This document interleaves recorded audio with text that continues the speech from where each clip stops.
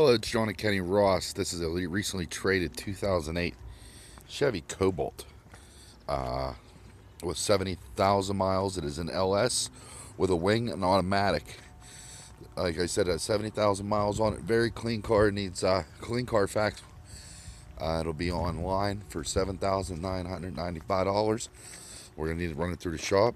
So if you have any questions or concerns, please give me a call at 814 445 4113. Again, Jon Kiser, and thank you.